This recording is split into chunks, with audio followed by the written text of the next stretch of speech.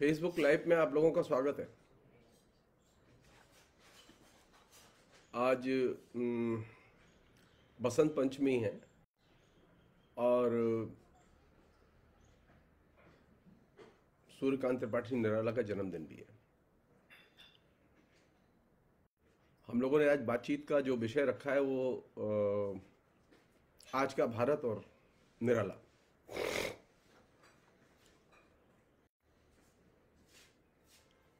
ये मेरी व्यक्तिगत धारणा है कि आधुनिक भारत की जो बुनियादी समस्याएँ थीं, उनको जितनी बारीकी से निराला समझते थे अपने युग के कवियों में, वो अपने आप में एक बहुत ही महत्वपूर्ण चीज़ थी। ये संयोग की बात थी कि निराला के साथ में जो लोग थे, उनके कंटेम्प्रेरी प्रसाद, पंत, महादेवी, वो लोग भी भारत को बहुत अच्छा समझते थे और भारत की समस्याओं से वाकिफ थे। मैं यहाँ सिर्फ़ दो बड़ी समस्याओं का ज़िक्र करना चाहूँगा आज के भारत के संदर्भ में। और ये बातचीत सिर्फ़ उसी पर फोकस रहेगी। इसमें पहली समस्या तो चूँकि मैं साहित्य का विद्यार्थी हूँ ये सारी बातें साहित्य के ही दृष्टिकोण से की जाएँगी। आज के भारत की और खासतौर पर हिंदी की जो समस्या है, वो ये है कि हिंदी में एक बड़ा वर्ग, पहले था बहुत छोटा वर्ग, हिंदी में एक बड़ा वर्ग तैयार हो गया है जो कि आलोचना को आलोचना विधा की तरह नहीं देखता, या आलोचना को आलोचना विधा की तरह नहीं जानता।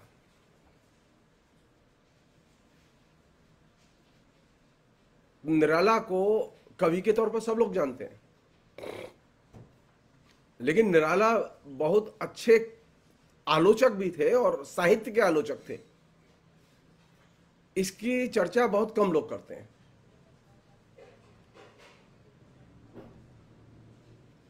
इस प्रसंग में निराला ने जो बातें उठाई हैं, खासतौर पर आलोचना विधा के प्रसंग में, और हिंदी की जो दशा है और खासतौर पर उसमें हिंदी के जो शिक्षकों की दुर्दशा है,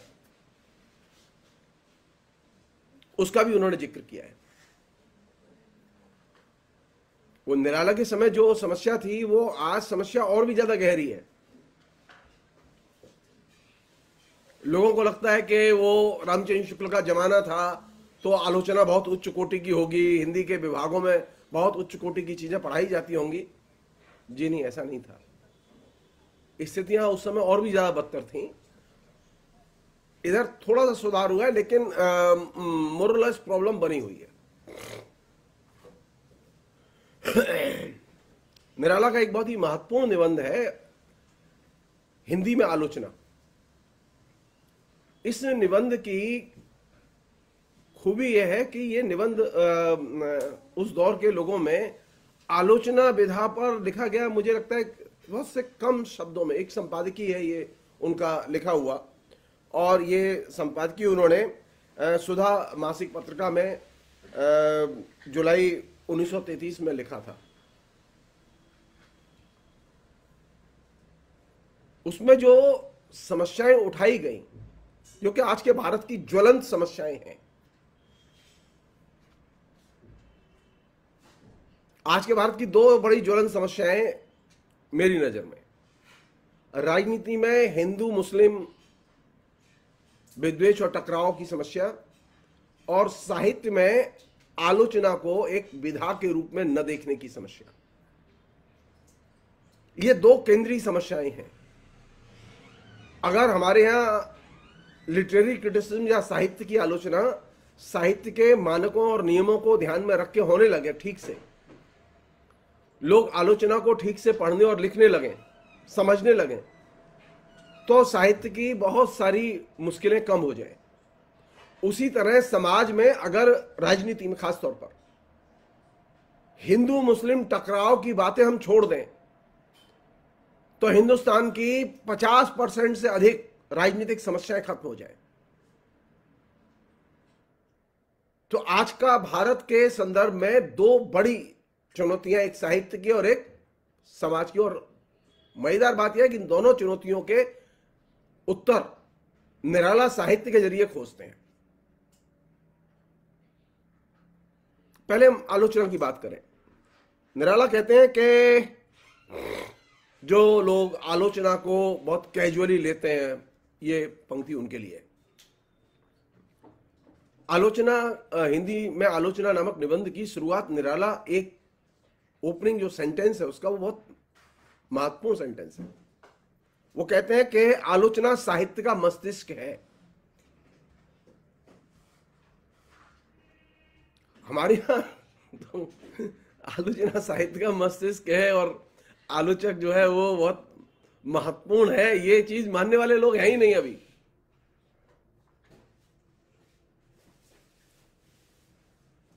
उन्होंने लिखा है कोट आलोचना साहित्य का मस्तिष्क है। अब साहित्य के विकास का श्रेय अनेक अंशों में इसे ही प्राप्त है। हृदय का महत्व लेकर लिखने वाली कविता भी यदि विचार और श्रृंखला से संबद्ध नहीं तो शैशव संलाप की तरह भावोच्छ्वास मात्र है। उससे साहित्य की कोई बड़ी प्राप्ति नहीं हो सकती। अनकोट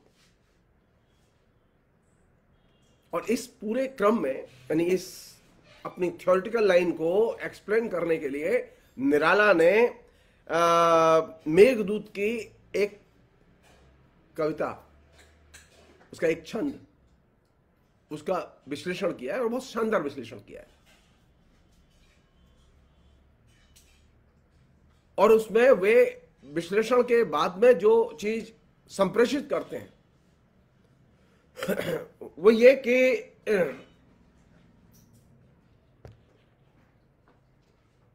काव्य के विकास का बहुत ही महत्वपूर्ण कारक है आलोचना।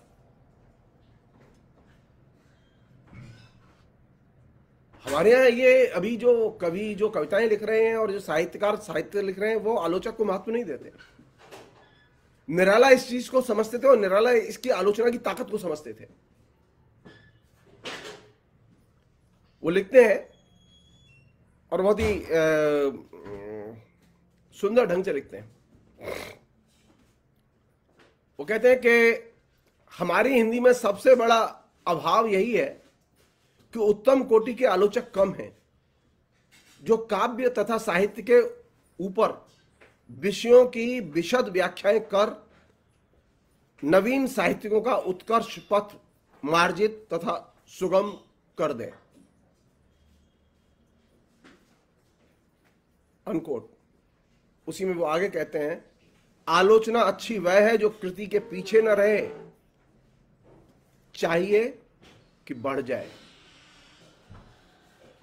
ये जो आलोचना का जो काम है वो ये कि वो सिर्फ़ कृति की व्याख्या, अन्वय, भावार्थ बताना नहीं है।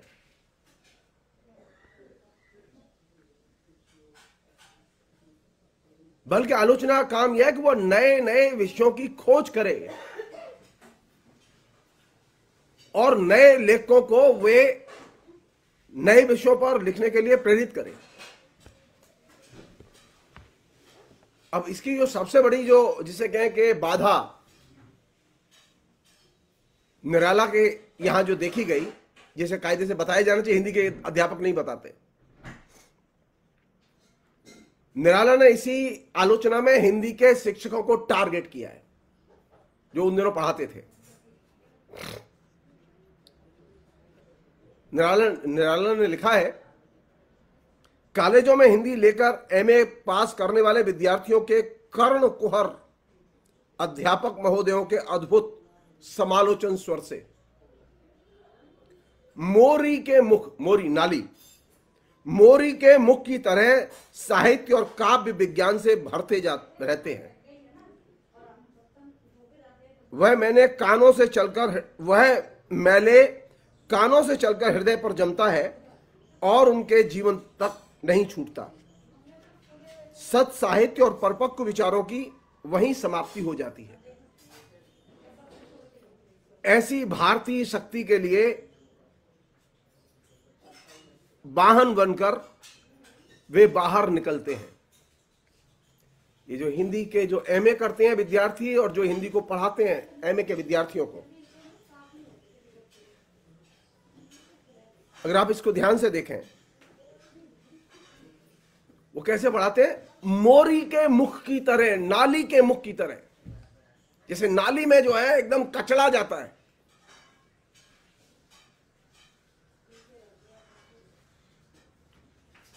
साहित्य की आलोचना विश्वविद्यालयों में पढ़ाने वाले अधिकतर लोग वैसे ही पढ़ाते हैं। और ये गंदगी जब एक बार विद्यार्थी के जेहन में बैठ जाती है, दिल में उतर जाती है, उसके दिमाग में उतर जाती है तो वो सारे जीवन उसका पीछा नहीं छोड़ती।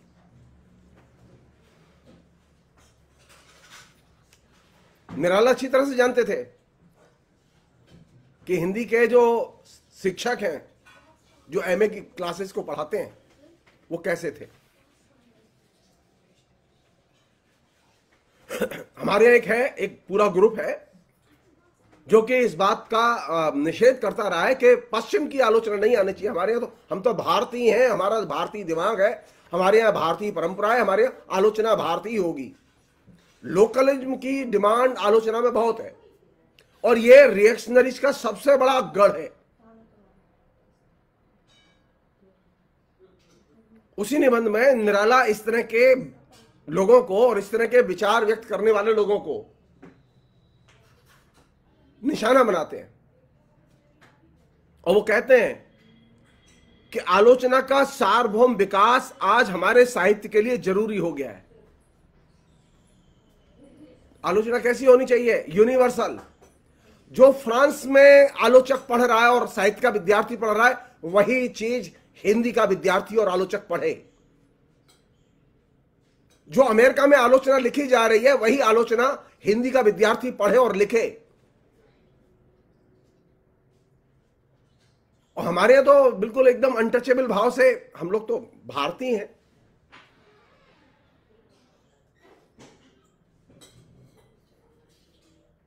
उन्होंने लिखा, कोट, और बहुत महत्वपूर्ण है ये। आलोचना का सार्वभौम विकास आज हमारे साहित्य के लिए ज़रूरी हो रहा है, जिससे दूसरे देशों की साहित्य महत्ता से मिलकर हमारा साहित्य अग्रसर हो। साहित्य का विश्व बंधुत्व जन समाजों में स्थापित हो। हम दूसरे देशों के साहित्य से व्यावसायिक आदान प्रदान की तरह अपने भावों का भी परिवर्तन कर सकें। जिस भारतीयता, यानी जिसकी अब चर्चा करते रहते हैं लोग के, विदेशी आलोचना नहीं चलेगी, विदेशी विचार नहीं चलेंगे। हमें देसी विचार चाहिए, एकदम लोकल विचार चाहिए। और इस तरह की बात कहने वाले वे लोग हैं जो कि मोरी की तरह साहित्य पढ़ाते रहे हिंदी के विभागों में।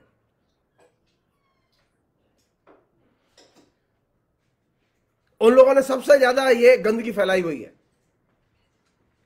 और आज की आज की डेट में इस गंदगी के सिरमौर हैं आरएसएस से जुड़े हुए हिंदी के शिक्षक। निराला कहते हैं इसमें आगे, जिस भारतीयता के गर्व से दूसरे तुच्छ जान पड़ते हैं। वह अपनी ऐसी भारतीयता में कुछ रूढ़ियों में चलती हुई अब अभारतीयता है। हमारे साहित्य में ऐसे विचार रखने वाले बहुत थोड़े नहीं के बराबर हैं। इन दिनों बहुत ज़्यादा है। इसलिए आलोचक प्राय देश, काल और रीति के बंद, आद के बंधनों में 300 वर्ष के पुराना विचारों में रंगे, विचारों से रंगे हुए आज के साहित्य पर गहन उद्गार करते हुए, वज्रपात करते रहते हैं। Indian Indian outlook Indian outlook आप दरिदा की तरह व्याख्या मत कीजिए। आप मार्क्स की तरह आलोचना की व्याख्या मत कीजिए। आप फ्रॉइड की तरह साहित्य की आलोचना की व्याख्या मत कीजिए, क्योंकि ये सब विदेशी लोग हैं। हमको देसी चाहिए। देसी ज्ञान चाहिए, देसी आलोचना दृष्टि चाहिए। निराला कहते हैं कि इस तरह के जो लोग हैं, वो क्या करते रहते हैं? आए दिन वज्रपात करते रहते हैं। कुछ ऐसे हैं जो अंग्रेज़ हैं, कुछ ऐसे जो पूरे भारतीय, उन्हें मालूम होना चाहिए कि आलोचना में भारतीय, अभारतीय कोई रंग नहीं। वह केवल आलोचना है, जिसके साथ मनुष्य मात्र के मन का संबंध है। और यह ज्ञान खोकर ही हम अब तक नहीं उठ सके। यानी भारतीय और अभारतीय का जो कैटेगराइजेशन जो रिएक्शनरी फोर्सेज ने साहित्य में क्रिएट किया है, जो साहित्य का नरक द्वार है, जिससे हमारे साहित्य के विद्यार्थी सबसे ज़्यादा दुष्प्रभावित होते हैं।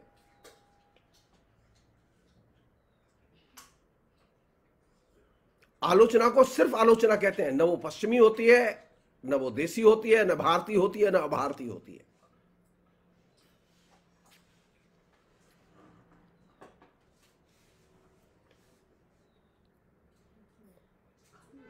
एक अन्य चीज़ जिस पर के बहुत इंफेसिस उन्होंने दिया है, जो कि कायदे समझने की चीज़ है। वो कहते हैं कि मनुष्य मन ही साहित्य है और आलोचना ही मानसिक परिवर्तन का मूल।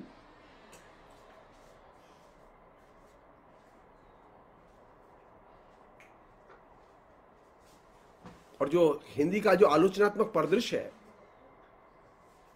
उस आलोचनात्मक परिदृश्य को देखकर निराला का गुस्सा देखने लायक है। निराला कहते हैं, हिंदी का आलोचनात्मक वर्तमान साहित्य देखकर किताब फाड़कर फेंक देने की तबीयत होती है। वह मानवीय मन से इतनी दूर है, इतना स्थूल, इतना जड़ है, अभी उसमें बड़ी उन्नति की आवश्यकता है। निराला को तो अभी फाड़ देने की इच्छा करती है। अभी तो स्थिति है कि जो आलोचना लिख रहे हैं, उनको भी फाड़ देने की इच्छा करती है। यह बात मैं इसलिए कह रहा हूँ कि हिंदी की आलोचना में तमाम साहित्यिक पत्रिकाओं ने, और खासतौर पर हिंदी के शिक्षकों ने, साहित्यिक व्याख्या के नाम पर आलोचना, जैनर की जिस तरह से राष्ट्रीय स्तर पर हत्या की है उसने पूरे के पूरे मानसिक विवेक और विकास की संभावनाओं को दुष्प्रभावित किया है। और यह एक दिन की बात नहीं है। यह अचानक नहीं घटा।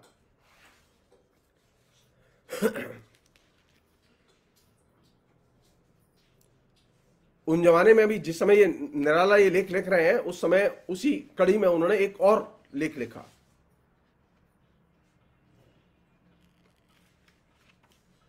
साहित्य में समालोचना। और यह लेख सुधा मासिक पत्रिका के अक्टूबर 1934 के अंक में छपा। एडिटोरियल के तौर पर।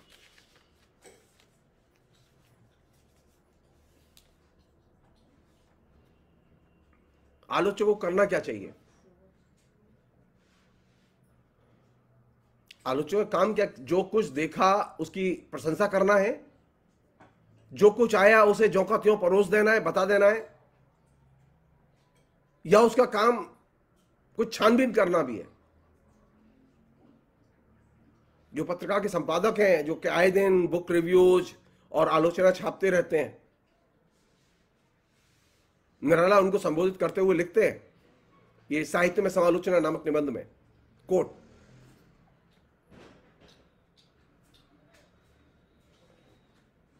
प्रतिदिन लेखक जिस नव साहित्य की सृष्टि करता है, उसे छानकर उसके तत्व को पाठकों के सम्मुख रखना आलोचक का काम है। ऐसी दशा में आलोचना को, यानी पहला काम क्या है उसका? कि जो कुछ साहित्य सामने आ रहा है, नए लेखकों के द्वारा लिखा गया, उसमें सब कुछ पठनीय और प्रशंसनीय और प्रस्तुत किए जाने वाला नहीं है, बल्कि आलोचक का काम है कि उसमें से वो छांटे। उसके पास में चयन का विवेक होना चाहिए। और वो चुन के वो फिर पाठकों के सामने पेश करें। उन दिनों ये एक पूरी की पूरी आप सब लोग जानते हैं कि प्रगतिशील आलोचना ने और प्रगतिशील लेखक संघ ने निराला की बड़ी बुरी आलोचना लिखी थी। एकमात्र अपवाद थे रामविलास शर्मा, जिन्होंने कि निराला के ऊपर उस समय भी बहुत ही बेहतर लिखा था और बाद में भी अद्भुत लिखा। ज़्यादातर जो प्रगतिशील आलोचक थे, वे निराला की कविता पर आए दिन हमले करते रहते थे और निराला पर हमले करते रहते थे।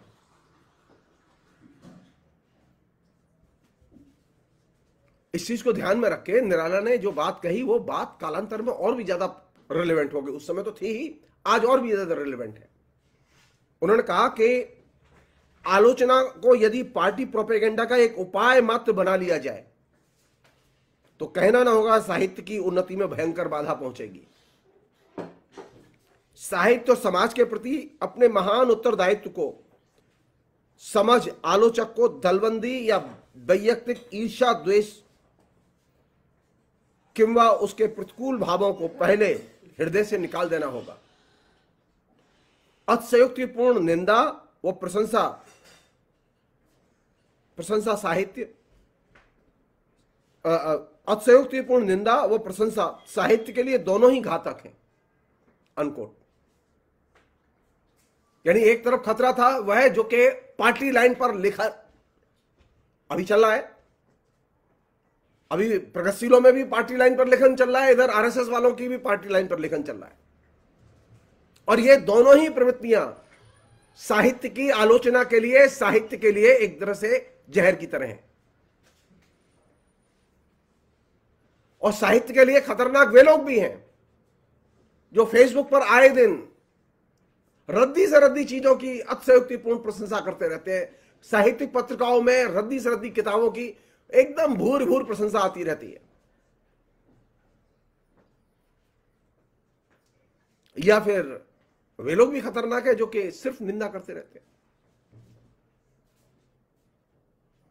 तो साहित्य की आलोचना का विकास कैसे हो? हमारे यहाँ है ऐसे लोग हैं जो आ, ये कहते हैं कि हमने इतनी थोक के हिसाब से आलोचना लिखी है और देखो दैनिक जागरण में हमारे लेख छप रहे हैं। दैनिक जनसत्ता में हमारे लेख छप रहे हैं, दैनिक हिंदुस्तान में हमारे लेख छप रहे हैं। हमने टनों साहित्य की आलोचना लिखी। ये जो विभिन्न पत्र पत्रिकाओं में, दैनिक अखबारों में जो छपने वाली टनों आलोचना थी, जो आज भी है, उस आलोचना को निराला आलोचना नहीं मानते।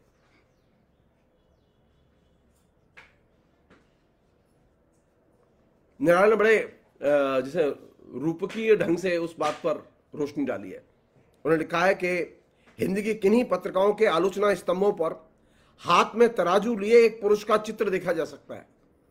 ऐसे चित्र से समालोचना के प्रति जो वृत्ति स्पष्ट होती है, उसी के अनुसार आलोचक भी काम करता है। हाथ में कांटा ले, एक पलरे में उसने आलोच्य वस्तु रखी, दूसरे में अपने सिद्धांत। तौल में जैसी वे वस्तु उतरी, वैसी ही कीमत लगा दी। ऐसी दशा में आलोचक पहले से ही लेखक से अपने को बड़ा मान लेता है। वह चाहता है जैसे उसके विचार हैं, उन्हीं के अनुकूल लेखक लिखे। जैसा आनंद वह चाहता है, लेखक वैसा ही आनंद उसे दे। उससे भिन्न आनंद की कल्पना करना उसके लिए कठिन होता है। परंतु प्रत्येक लेखक जो अपनी सच्ची मौलिकता से कृति को जन्म देता है अपना एक निराला वायुमंडल अपने साथ रखता है। संभव है उसकी कृति के भीतर बैठने के लिए आलोचक को अपने सभी पूर्व विचारों को बदलना पड़े। सहृदयता पूर्वक आलोचक जब तक ऐसा करने को प्रस्तुत नहीं रहता, वह लेखक की सच्ची आत्मा तक, जो उसकी कृति के भीतर बोल रही है, पहुँचने की आशा नहीं कर सकता। अनको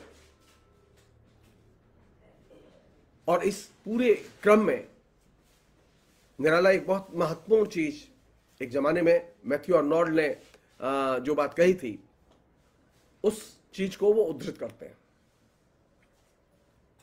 और वो बात क्या कही थी? किसी भी समाज में समालोचना या आलोचना का विकास सभ्यता के विकास से जुड़ा हुआ है। अगर किसी समाज को सभ्य बनना है, सभ्यता का विकास होना है तो वहाँ आलोचना का, समालोचना का विकास होना बेहद ज़रूरी है। निराला इस बात को उद्धृत करते हैं और कहते हैं कि समालोचना सभ्यता के विकास का मुख्य यंत्र है। ये मैथ्यू और नॉल्ड के शब्द थे, जिसे कि निराला उद्धृत करते हैं।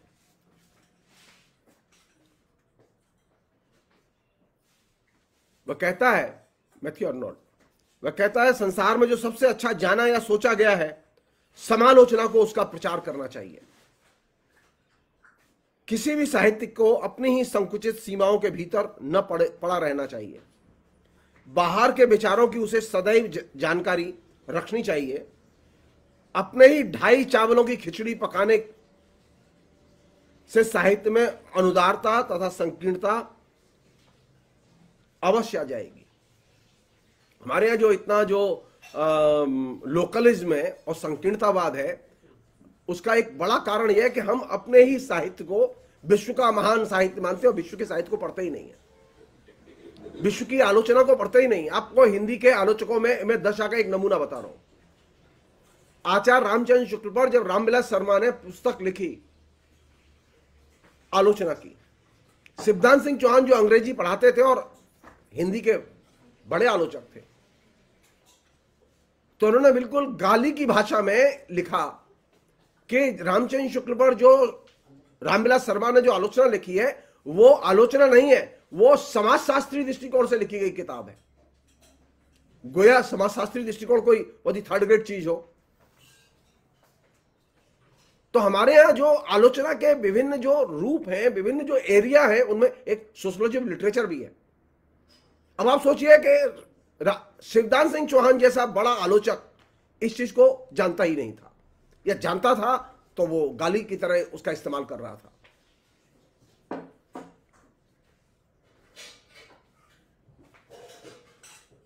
निराला लिखते हैं, जिसे कायदे से हमें भी पढ़ना चाहिए और समझना चाहिए। वो लिखते हैं कि मैथ्यू अर्नॉल्ड ने अंग्रेज़ लेखकों को सलाह दी थी कि वे ग्रीक, जर्मन तथा फ्रेंच साहित्य से परिचय प्राप्त कर अपने यहाँ नए विचारों को लावें। हिंदी आलोचकों को भी उसी प्रकार देश व विदेश के अच्छे अच्छे साहित्यों से परिचय प्राप्त कर अपने यहाँ नए विचारों को लाना चाहिए। इससे वे स्वयं कितने आगे, कितने पीछे हैं यह भी भली भात जान सकेंगे। अपने साहित्य का पूर्ण अध्ययन कर, अपनी संस्कृति का पूरा ज्ञान प्राप्त कर, जब हम दूसरों की संस्कृति व साहित्य को पहचानेंगे उस संघर्ष से सभ्यता का जो नया वायुमंडल उत्पन्न होगा, भावी हिंदी साहित्य के अभिवृद्धि के बीज उसी में छिपे होंगे। अनकोट। हमारे यहाँ तो हालत यह है कि आपको पश्चिमी आलोचना या पाश्चात्य काव्य शास्त्र जिसे हम लोग कहते हैं, पाश्चात्य काव्य शास्त्र पढ़ाने वाले आपको लोग ही नहीं मिलेंगे। हमारे ऐसे गिनती के एक दर्जन लोग मिलेंगे जिन्होंने कोई अच्छी पश्चिम के काव्य शास्त्र पर, पश्चिम की आलोचना पर किताबें लिखी हो। अगर डेढ़ सौ, दो सौ साल में हिंदी की आधुनिक आलोचना का यह हाल है तो हम उसकी दुर्दशा की कल्पना कर सकते हैं जो हिंदी विभागों में पड़ी हुई है। हिंदी के विभाग और हिंदी के विद्यार्थी पश्चिम के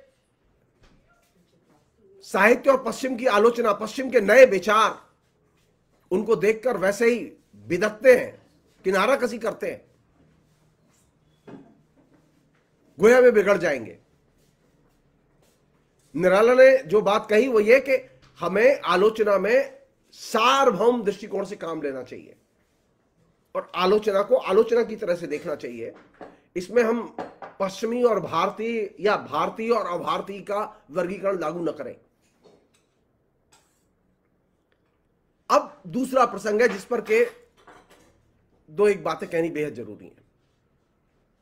वो ये है कि राजनीति में ये जो हिंदू मुस्लिम विद्वेष की समस्या, एक बड़ी समस्या के तौर पर सामने आई है। जिस तरह से आलोचना का क्षय हुआ है, उस तरह से राजनीति का भी क्षय हुआ है। आलोचना का क्षय हुआ है साहित्यकारों और साहित्य के पढ़ाने वाले शिक्षकों की वजह से। और राजनीति का क्षय हुआ है। राजनीतिज्ञों की वजह से क्योंकि वहाँ हिंदू, मुस्लिम विद्वेष एक प्रधान विषय है।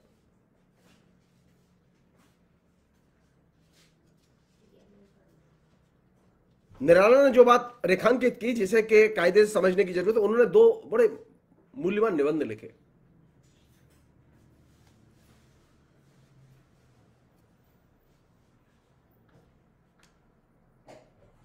उनका एक निबंध था साहित्य की समतल भूमि। और दूसरा निबंध था जो बहुत मूल्यवान था, मुसलमान और हिंदू कवियों में विचार साम्य। ये दो निबंध, ये दो निबंध हिंदुस्तान की और हिंदुस्तान के अंदर हिंदी विभागों में चल रही जो पॉलिटिक्स है। लगातार प्रेशर है। मुस्लिम कवियों को मत पढ़ाओ, मुस्लिम लेखकों को मत पढ़ाओ। मुसलमानों के लिखे हुए को का बहिष्कार करो। और तरह तरह के जो प्रोपेगेंडा है मुसलमानों के खिलाफ में, हिंदुओं के वृक्ष, उसका लगातार एक धारावाहिक प्रवाह समाज में बना हुआ है।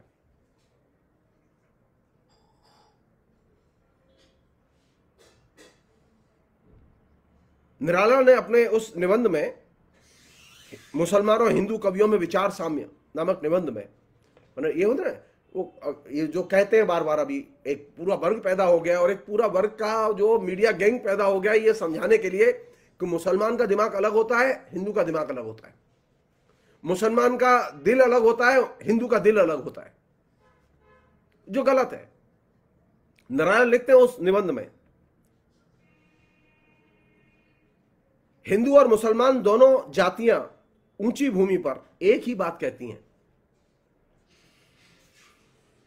इस लेख में हम यही दिखलाने की चेष्टा करेंगे। साथ ही हमारा यह भी विश्वास है कि जब तक हिंदू और मुसलमान इस भूमि पर चढ़कर मैत्री की आवाज़ नहीं लगाएँगे, तब तक वह स्वार्थजन्य मैत्री स्वार्थ में धक्का लगने तक की ही मैत्री रहेगी।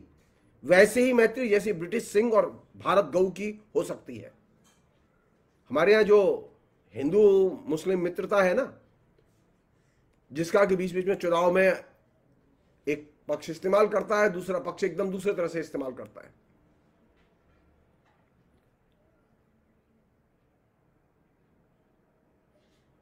लेकिन निराला जिस चीज़ पर ज़ोर देते हैं, वो ये कि भारत में और खासतौर पर साहित्य में हिंदू, मुस्लिम, मैत्री एक अभिन्न फिनोमिना है। इसे समझने की ज़रूरत है। साहित्य की यह भूमिका है कि वो हिंदू मुस्लिम मित्रता के सवाल को केंद्रीय प्रश्न बनाए।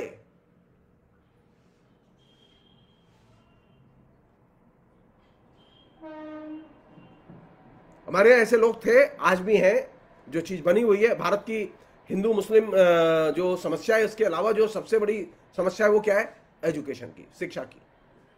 क्या शिक्षा बहुत है हमारे यहाँ? वो कहते हैं, कोट निराला ने लिखा है।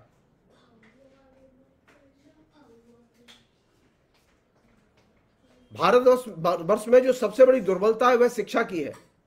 हिंदू और मुसलमानों में विरोध के भाव दूर करने के लिए चाहिए कि दोनों को, दोनों के उत्कर्ष का पूर्ण रीति से ज्ञान कराया जाए। परस्पर के सामाजिक व्यवहारों में दोनों शरीक हों। दोनों एक दूसरे की सभ्यता को पढ़ें और सीखें।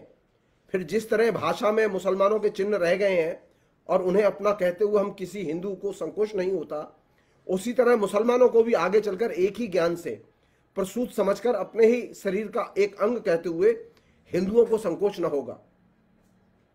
इसके बिना, दृढ़ बंधुत्व के बिना दोनों की गुलामी के पास कट नहीं सकते, खासकर ऐसे समय जबकि फूट डालना शासन का प्रधान सूत्र हो।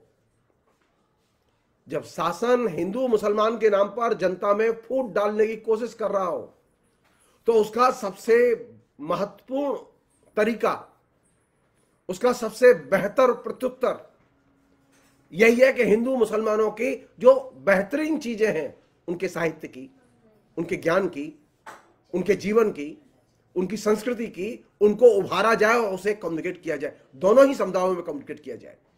हमारे यहाँ तो हालत यह है कि अब एक तरह से धारावाहिक प्रोपेगेंडा चल रहा है। एंटी इस्लाम एंटी मुस्लिम और इस प्रोपेगेंडा का अभी क्लाइमेक्स चल रहा है इन दिनों। यह आज आज प्रोपेगेंडा शुरू नहीं हुआ। यह प्रोपेगेंडा भारत के स्वाधीनता आंदोलन के समय में भी था, जब यह निबंध लिखा गया, उस समय भी था। यह निबंध लिखा गया जो निराला ने उस, उस दौर में भी हिंदू मुस्लिम विद्वेश बहुत बड़ी समस्या थी।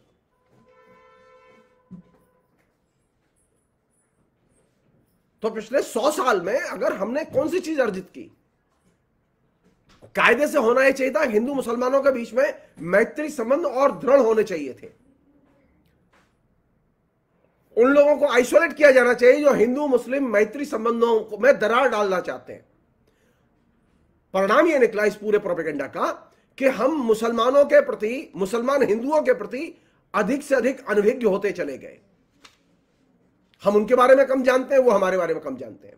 हम उनके साहित्य को कम जानते हैं, वो हमारे साहित्य को कम जानते हैं। वे हमारे घर में क्या बन रहा है उसे नहीं जानते, हम ये नहीं जानते कि उनके घर में क्या बनता है। पहले हालत यह थी कि हिंदू मुसलमान पास पास रहते थे और एक के यहाँ छौक लगता था, दूसरे छौक की खुशबू दूसरे घर में जाती थी।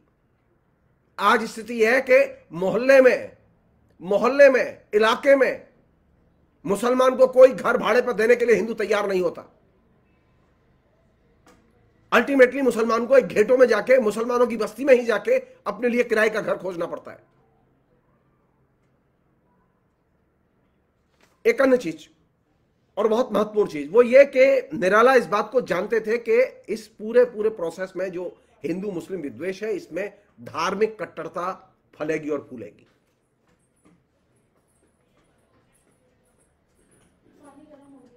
वो कहते हैं, सामाजिक और राजनीतिक जटिल प्रश्नों की तरह, भारत को धार्मिक प्रश्न का भी संतोषजनक उत्तर देना है। हमारे यहाँ तमाम कमजोरियों और संकीर्णताओं की जड़ में विविध धर्म भावनाएँ ही हैं, खासकर हिंदू और मुसलमान धर्म में। उन्होंने बात बकायदा पिन पॉइंट किया है। आर्य समाज द्वारा विचारों की व्यापकता को बहुत कुछ सहायता प्राप्त हुई है। पर जिस ढंग से वैदिक धर्म का प्रचार किया गया है, उसमें कट्टरता प्रधान है। विचारवान धर्मों में सार भाग सार भाग देखते हैं। सभी धर्मों के मूल तत्व मिलते जुलते हैं। आचारों के साथ धर्म के ऊँचे अंश का कोई संबंध नहीं। वेद के ज्ञान कांड के साथ मुसलमान, ईसाई, पारसी आदि अपने अपने धर्म के भीतर से सहमत हैं। वेद के मानी भी किसी पुस्तक विशेष के नहीं। वह ज्ञान रूप होकर सभी जातियों में सम्मिलित है। विद, वेद माने विद ज्ञाने। वेद का मतलब नॉलेज वेद का मतलब किताब नहीं, जैसा कि दयानंद सरस्वती ने प्रचार किया था। वेद को लेकर विवाद करने पर वेदज्ञों की ही मर्यादा नष्ट होती है। वेद अपने अर्थ में पूर्ण है। अनकोट। ये जो इस तरह की जो धार्मिक कट्टर था, का जितना प्रचार समाज में होगा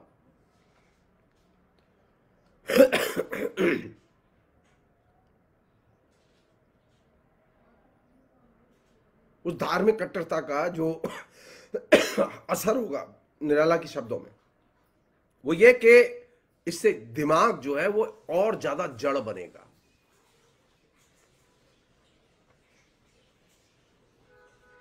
वो कहते हैं, उनका कोटेशन है और ये आखिरी कोटेशन जिस तरह जड़ विज्ञान में सत्य का सार्वभौम निराश्रय ऐक्य मिलता है और सभी देशों को संभाव से उन्नयन करने का अधिकार, उसी तरह धर्म विज्ञान में भी। ध्यान रखिए, धर्म विज्ञान, वो रिलीजियस साइंस की बात कर रहे हैं, धर्म की बात नहीं कर रहे खाली।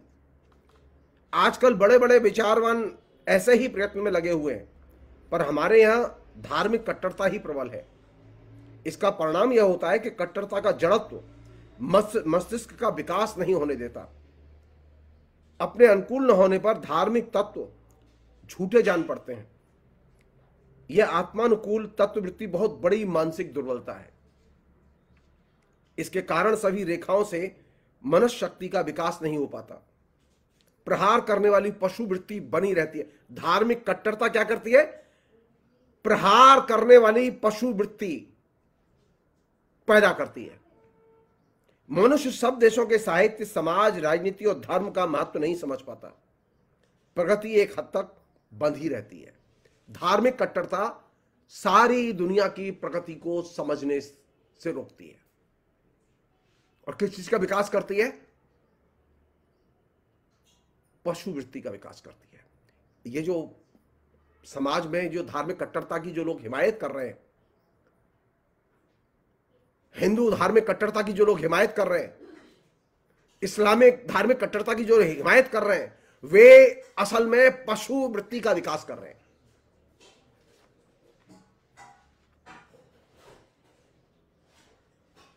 आखिर में निराला की बात कह के बात खत्म होगी। वो कहते हैं कोर्ट हिंदू और मुसलमानों की समस्या इस देश की पराधीनता की सबसे बड़ी समस्या है। मैं सिर्फ़ इसमें इतना जोड़ना चाहूँगा, हिंदू और मुसलमानों की समस्या इस देश के लोकतंत्र की सबसे बड़ी समस्या है।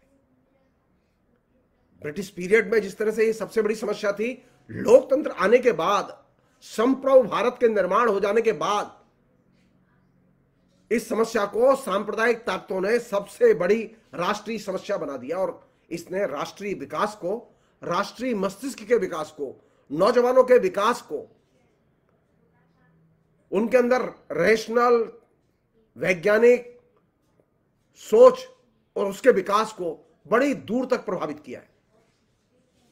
निराला को याद करने का मतलब यह है, हम दो चीज़ कर सकें तो बहुत ही बेहतर होगा। एक तो ये, आलोचना को एक जैनर की तरह, एक विधा की तरह हम लोग समझें और जानें। आलोचना के सार्वभौम चरित्र को हम समझें और जानें। बिना किसी भेदभाव के देश विदेश की आलोचना को हम पढ़ें और पढ़ाएँ। और दूसरा, अगर समाज का सचमुच में स्वतंत्र नागरिक का और लोकतंत्र का विकास करना चाहते हैं तो हिंदू मुस्लिम समस्या का समाधान हम हिंदू मुस्लिम मैत्री संबंधों को स्थापित करने में खोजें, साहित्य उसमें सबसे बड़ी भूमिका अदा कर सकता है। क्योंकि हिंदू जो कवि हैं, मुस्लिम जो कवि हैं, निराला ने डिटेल्स में उनके बारे में लिखा है, उनके विचार कैसे एक दूसरे से मिलते जुलते थे। उनके अंदर किस तरह से मूल्यगत एकता थी। साहित्य में जो सबसे महत्वपूर्ण चीज़ होती है, वो एक कि साहित्य जो है किस तरह के सामाजिक मूल्यों को व्यक्त करता है। तो हिंदू लेखक जिस सामाजिक मूल्य को व्यक्त करता है, उसी सामाजिक मूल्य को मुस्लिम लेखक भी व्यक्त करता है। तो ये जो मूल्यगत एकता है, हिंदू और मुसलमानों के बीच में, इस मूल्यगत एकता को हिंदू मुस्लिम मैत्री का आधार बनाया जाना चाहिए। इससे हिंदुस्तान में धार्मिक कट्टरतावाद से लड़ने में मदद मिलेगी और लोकतंत्र मज़बूत होगा। आज निराला के जन्मदिन पर और बसंत पंचमी पर। बस इतना ही बहुत बहुत शुक्रिया थैंक यू